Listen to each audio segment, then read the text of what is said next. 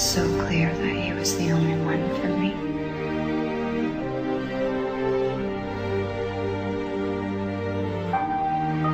We both knew it right away.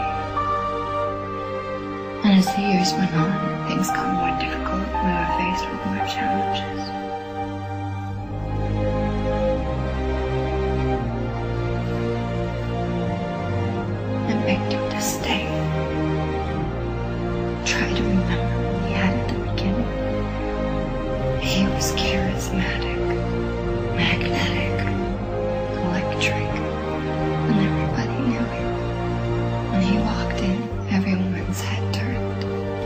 Everyone stood up to talk to him. He was like this hybrid, this mix of a man who couldn't contain himself.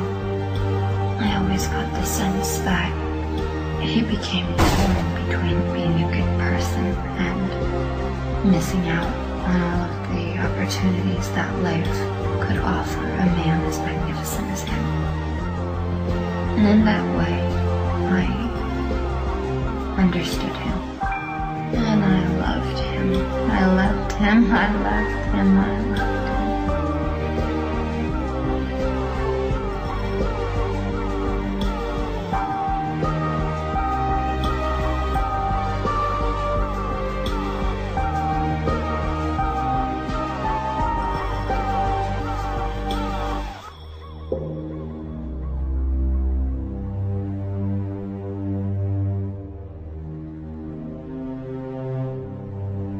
And I still love him. I love him.